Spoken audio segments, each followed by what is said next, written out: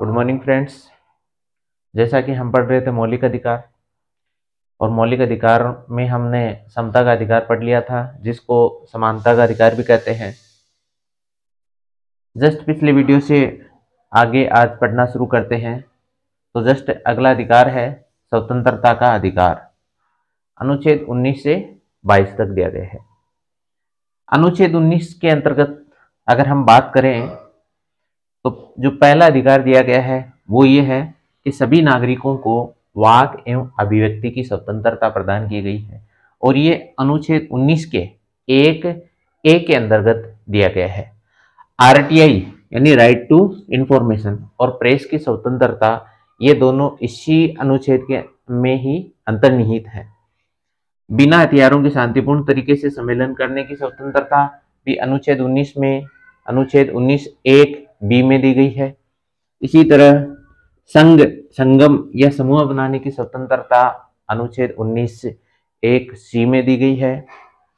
भारत के राज्य क्षेत्र में सर्वत्र, यानी कहीं पर भी, निर्बाध, बिना किसी रोक टोक के आवागमन या आने जाने की स्वतंत्रता प्रदान की गई है अनुच्छेद एक के अनुच्छेद उन्नीस एक डी में। भारत के राज्य क्षेत्र के किसी भी भाग में निवास करने व बसने की स्वतंत्रता अनुच्छेद उन्नीस एक जी में दी गई है। अब देखो, यहाँ पर थोड़ी ध्यान देने वाली बात है कि अनुच्छेद उन्नीस एक एफ़ व अनुच्छेद इकतीस में पहले संपत्ति का अधिकार दिया गया था, क्योंकि मूल संविधान में सात मौलिक अधिकार थे। लेकिन चौवालीसवें संविधान संशोधन 1978 के द्वारा संपत्ति के अधिकार को मौलिक अधिकारों की सूची से समाप्त कर दिया गया। और वर्तमान में ये जो संपत्ति का अधिकार है, ये अनुच्छेद 300 ए में केवल एक विधिक अधिकार के रूप में वर्णित तो है। अनुच्छेद 20 में दिया गया है, अपराध के लिए दो सिद्धि के संबंध में संरक्षण।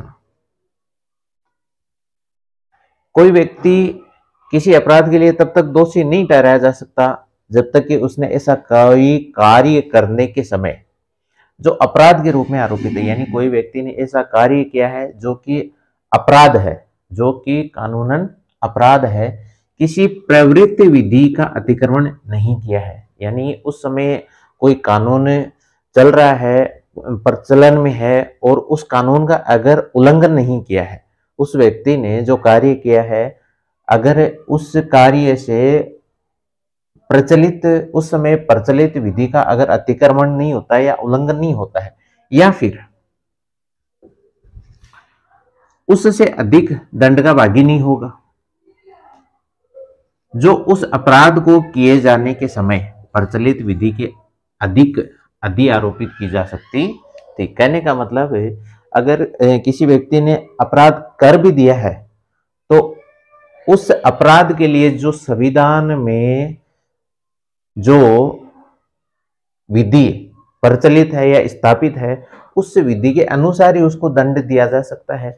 उस विधि के विरुद्ध जाकर उस व्यक्ति को दंड, दंडित नहीं किया जा सकता या फिर उस विधि से अधिक दंडित तो नहीं किया जा सकता। ये बात किसमें दी गई है? ये अनुच्छेद 20 एक में, ठीक है?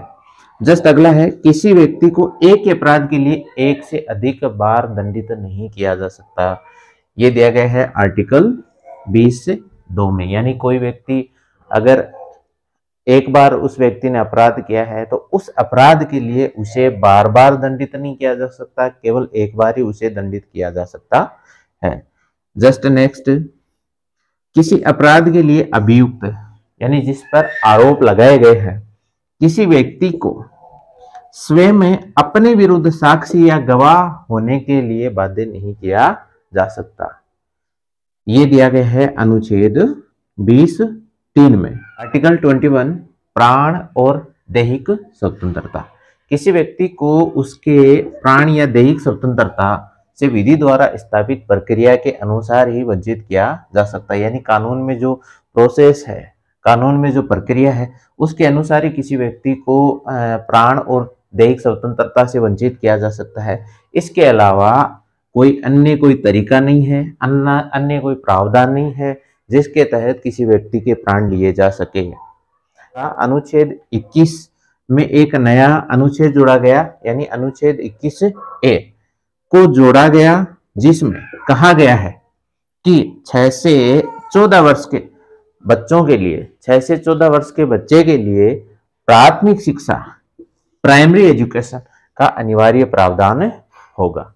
यानी छह से 14 वर्ष के जो भी बच्चे हैं, उनके लिए प्राथमिक शिक्षा अनिवार्य, उनको अनिवार्य रूप से प्राथमिक शिक्षा प्रदान की जाएगी।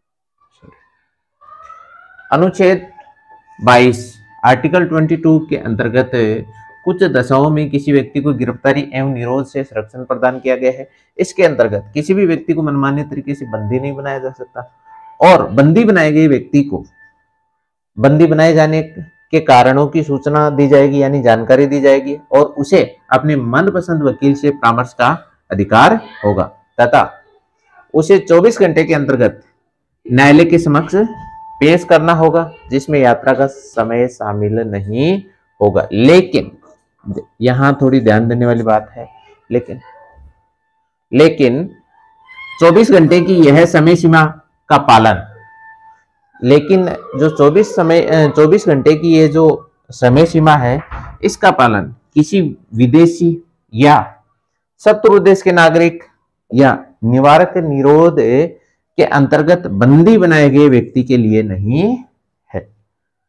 इसी के अंतर्गत अनुच्छेद 22 चार से अनुच्छेद 22 सात के अनुसार जिस व्यक्ति को निवारक निरोध के अंतर्गत गिरफ़्तार किया गया है, वह अपनी गिरफ्तारी का कारण जान सकता है और अपनी विधिक और वह विधिक सहायता भी प्राप्त कर सकता है, यानी वह अपने लिए, अपनी सहायता के लिए वकील भी कर सकता है। सो so फ्रेंड्स अगर आपको ये वीडियो अच्छा लगा हो तो कृपया वीडियो को लाइक करें, शेयर करें और चैनल को ज़्यादा से ज़्यादा सब्सक्राइब करें।